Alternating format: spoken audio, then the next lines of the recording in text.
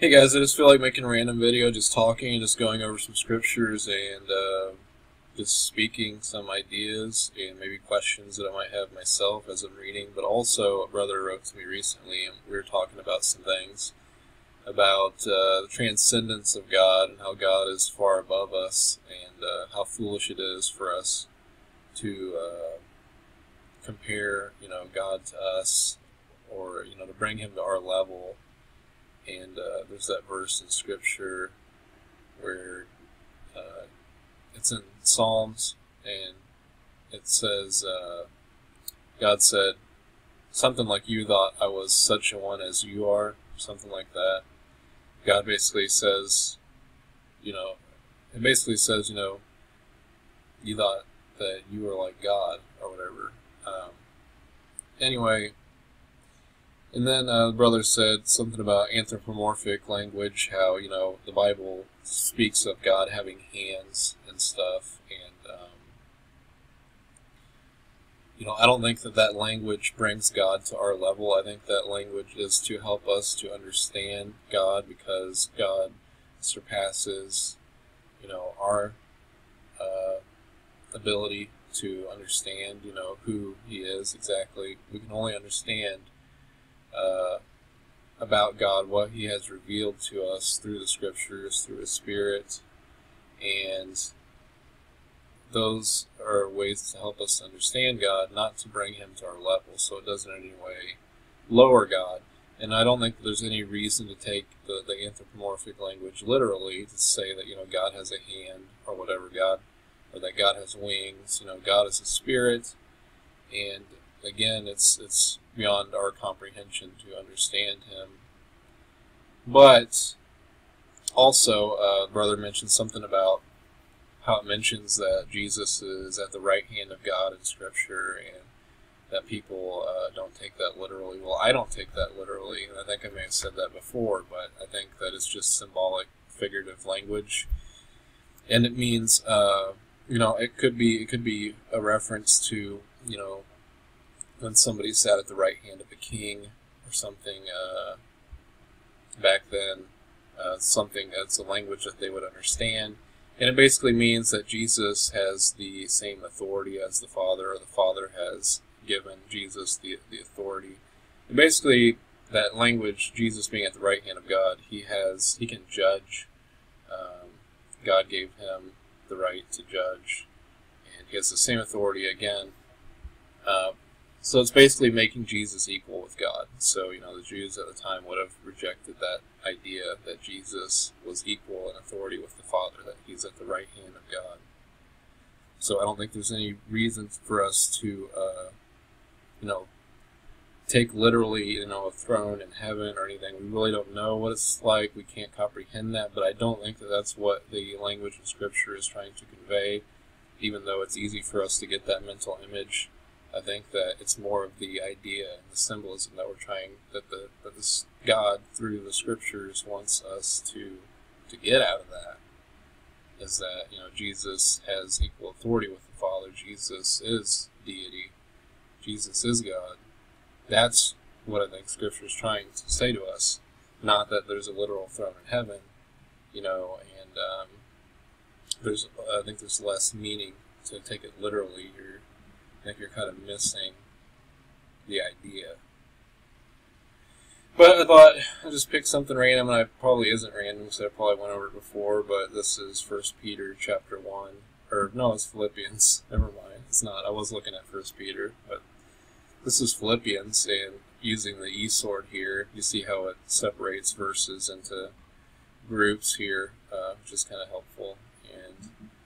So it says at the beginning as the greeting, the first two verses. It says, Paul and Timotheus, the servants of Jesus Christ, to all the saints in Christ Jesus, which are at Philippi, with the bishops and deacons. So they say there are bishops and deacons there. Uh, I guess the elders of the church, the servants, um,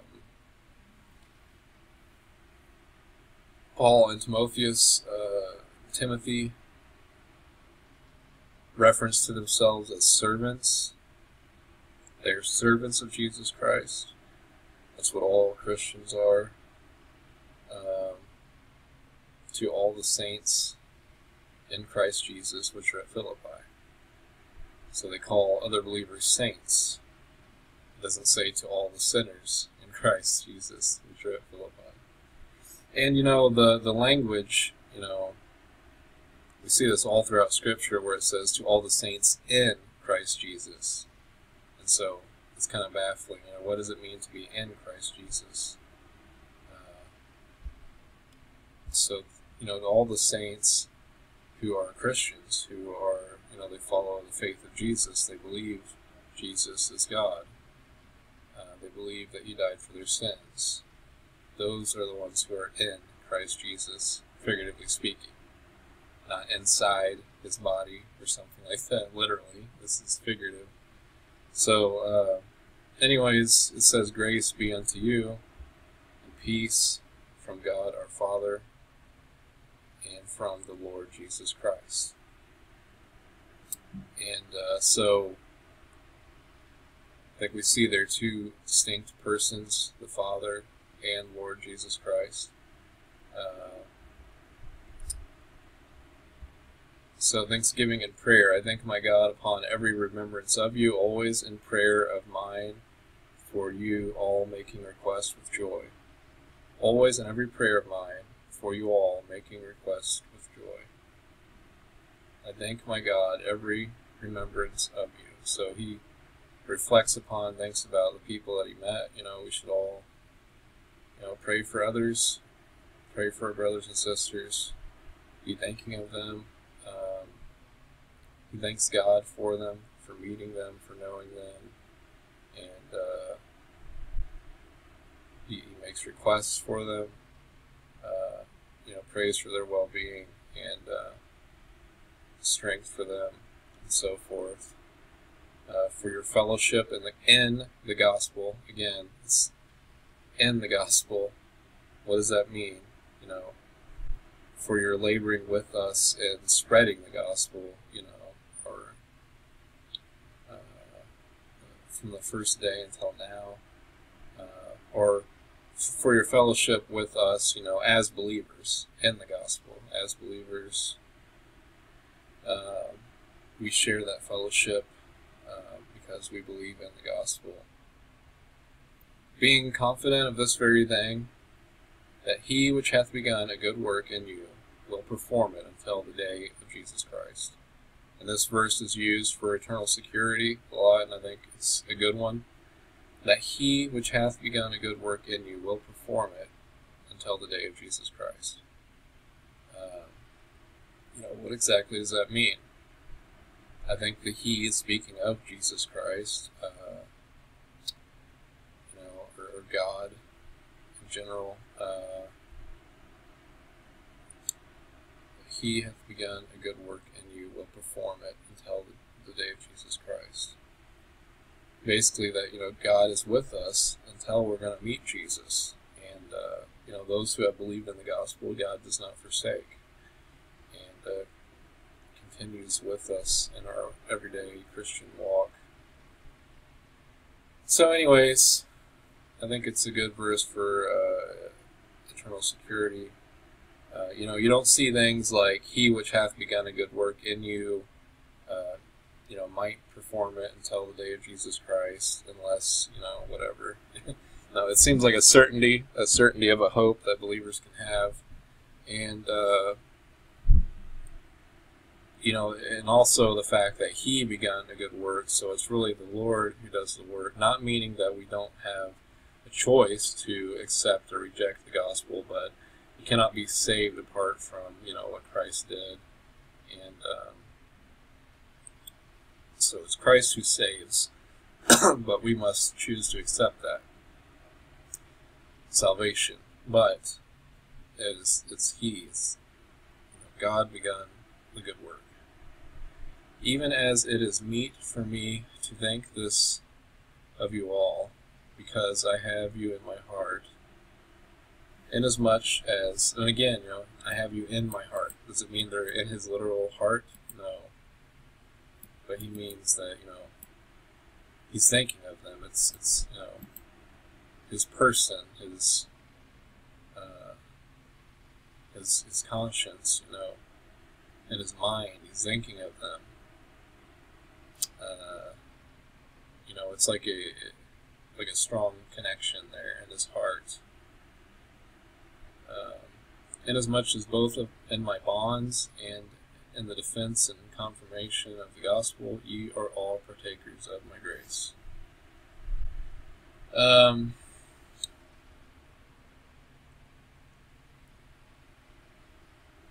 it's defense. And it's interesting too that he says in the defense and confirmation of the gospel. So he's defending the gospel. So I guess that would be kind of a good verse for people who say, you know, there shouldn't be any kind of apologetics or there shouldn't be any kind of, you know, defending doctrine or rebuking false doctrine or whatever. Uh, you know, we see plenty of verses that say otherwise, but I mean, this does talk about the defense and confirmation of the gospel. Um, you are all partakers of my grace. Uh, so again, I'm not really sure exactly how to interpret that, but I mean, he's talking about praying for them and stuff, thanking of them, and so maybe that's how he's saying you're partakers of my grace. For God is my record, uh, how greatly I long after you all in the bowels of Jesus Christ. And again, in the bowels of Jesus Christ. Is that in the literal bowels of Jesus Christ? No. Um, so he's saying God is his witness. God knows his thoughts. God knows his heart, and uh, his heart truly longs for the brothers and sisters in Christ. Those are the ones who are in the bowels of Jesus Christ. They are the saints in Jesus Christ. Um, and this I pray that your love may abound yet more and more in knowledge and in all judgment prays that their love may abound more and more in knowledge, in knowledge and in judgment, that ye may approve things that are excellent, that ye may be sincere and without offense till the day of Christ, being filled with the fruits of righteousness which are by Jesus Christ, unto the glory and praise of God. Uh, so talks about knowledge and judgment, and then he goes on to say, uh, you know, approving the things that are excellent, uh, the things that are right by God, that you may be sincere and without offense till the day of Jesus Christ.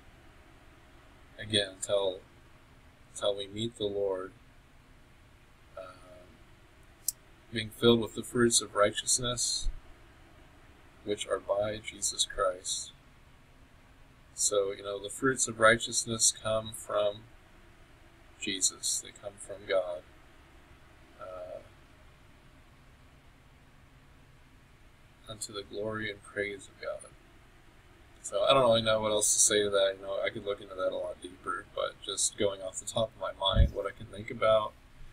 Let's continue on. The advance of the gospel. But I would ye should understand, brethren, that the things which happen unto me have fallen out rather unto the furtherance of the gospel. So him being in bounds, and I think he's speaking of, you know, the persecution and stuff have actually worked out for the better of the gospel. So that my bonds in Christ are manifest in all the palace and in all other places. My bonds in Christ. He's meaning his persecution because of his faith in Christ, is what he's saying. And many of the brethren in the Lord, in this and that, you see, you know, brethren in the Lord, you know. So, speaking of brethren, but to even be more specific, he's saying in the Lord, and you know, who is the Lord? Jesus Christ. My Christian brethren. Uh, you know, and it could be brethren uh, by by relation, like you know, Jews. He could have called Jews brethren or whatever, but this is specific. He's saying, you know, my brethren in the Lord. We're talking about Jews and Gentiles, believers in Christ. So, waxing confident by my bonds, and much more bold to speak the word without fear.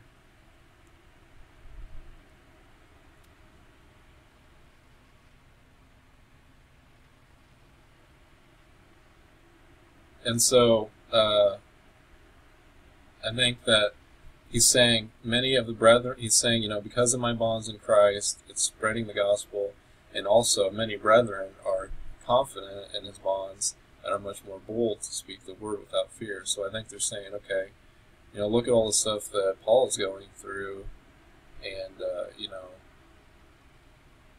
if you know he's this dedicated to you know serving the Lord, and he's suffering because of it and stuff, you know, it gives us you know the strength to, to go through it too, to look at you know what other people have done, and you know you see somebody else that's standing up for something right, and you want to, and um, so he's it's giving encouragement to other believers. Um, you know, it's doing the opposite effect of what people would want. You know, non-believers. Some indeed preach Christ, even of envy and strife, and some also of goodwill. And so, uh, you know, that's something I'd want to look more into in that verse, what the thoughts are on that. Some indeed preach Christ, even of envy and strife, um, but some of goodwill. So, what does it mean that some preach Christ of envy and strife? That's an interesting one. Um, obviously, goodwill, I mean, wanting to get people saved, I guess envy and strife kind of isn't really the, they're not really doing it out of the right, you know, mindset, uh, but they're still doing it. The one preach Christ of contention, not sincerely, supposing to add affliction to my bonds. But the other love, knowing that I am set for the defense of the gospel. Hmm. So, how are some preaching Christ uh, to add affliction to his bonds?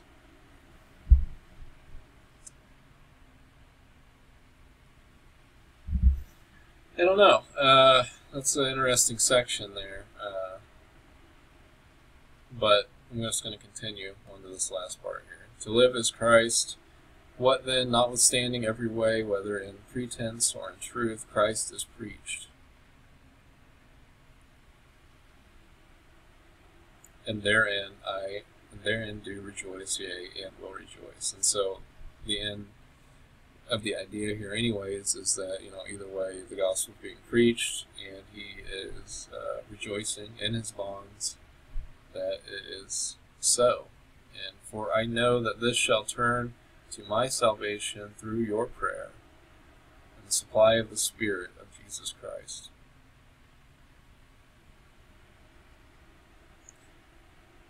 And, uh,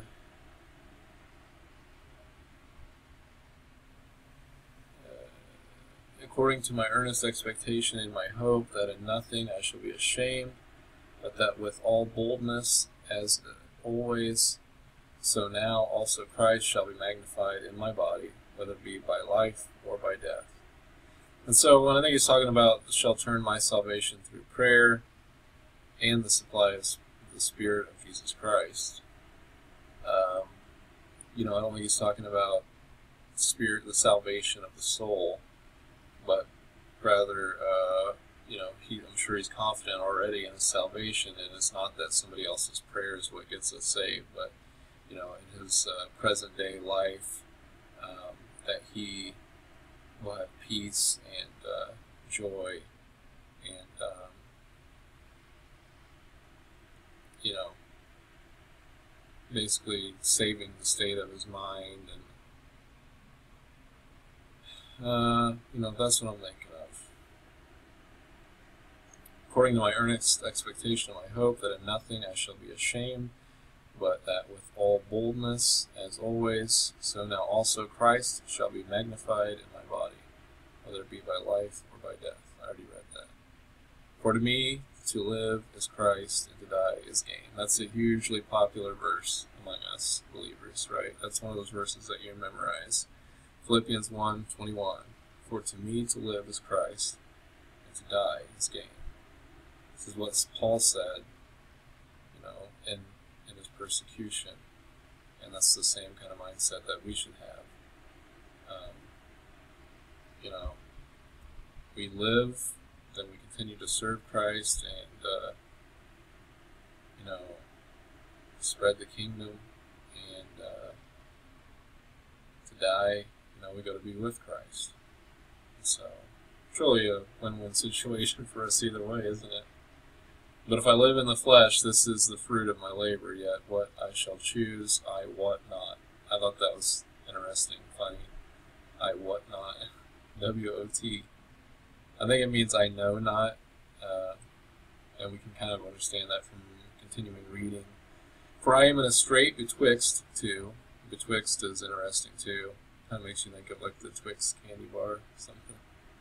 I'm a strait between the two. I'm, know, stuck between these two ideas. You know, continuing to live and serve the Lord, or to just you know to go to be with the Lord, having a desire to depart and to be with Christ, which is far better. Nevertheless, to abide in the flesh is more needful for you. And it's another interesting thing where people teach soul sleep and whatever, and that you know believers don't go to heaven when they die; they go wherever, or they don't go wherever. But there's verses like this, obviously, where Paul says that you know if he departs from his body, that he's going to be with Christ, and he's very confident of that. And uh, you know we can understand that that's the same for all believers. Uh, and having this confidence, I know that I shall abide and continue with you all for your furtherance and joy of faith, that your rejoicing may be more abundant in Jesus Christ for me by my coming to you again.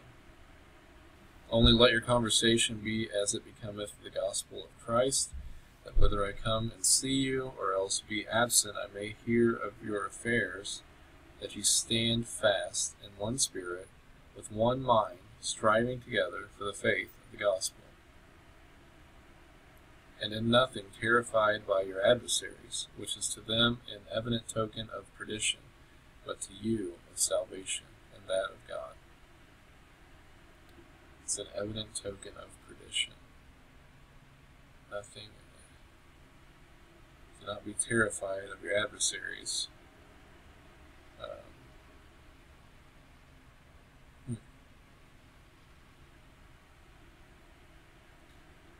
For unto you it is given in the behalf of Christ not only to believe on him, but also to suffer for his sake, uh, having the same conflict which ye saw in me, and now here to be in me.